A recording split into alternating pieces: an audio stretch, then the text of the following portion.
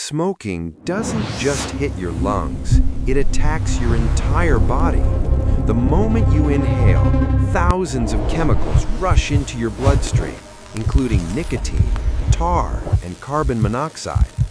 Nicotine reaches your brain in seconds, triggering dopamine. That relief feeling? It's addiction being reinforced. Inside the lungs, smoke burns delicate air sacs, damages cilia, fills lungs with tar, breathing becomes harder.